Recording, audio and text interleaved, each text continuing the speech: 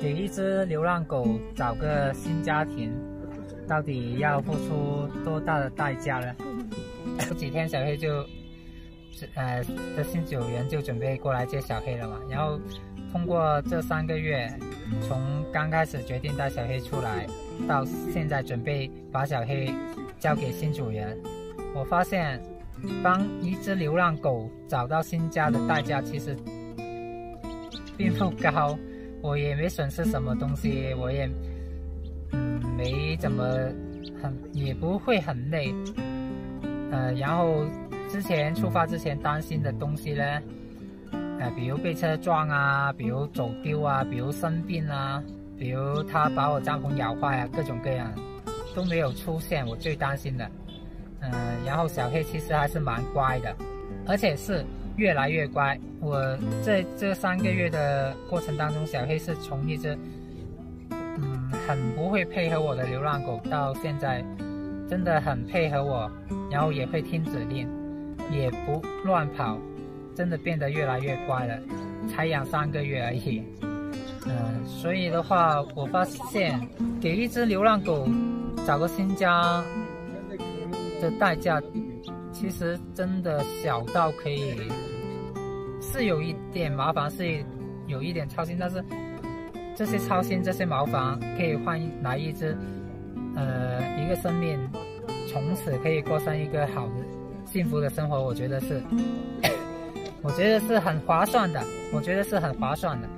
而且他小黑也没怎么给我带来困难，所以。我我通过这一次帮小黑找新家，我就有个感悟，其实我们很多时候，嗯，对于未来的担心，其实并不是真实存在的。然后你只要去做了，你慢慢做，肯定会有会遇到困难，但是这些困难并是可以克服的。随着你不断克服，然后这些困难就会慢慢变小，然后你带马小黑带在身边就。会越来越轻松，就很很很很高兴的那一种，呃，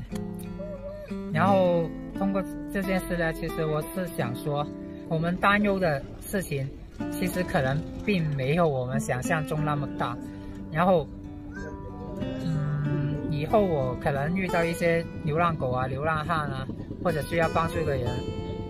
我虽然有顾虑，但是我。也会知道我的顾虑可能并不是真实存在，然后因为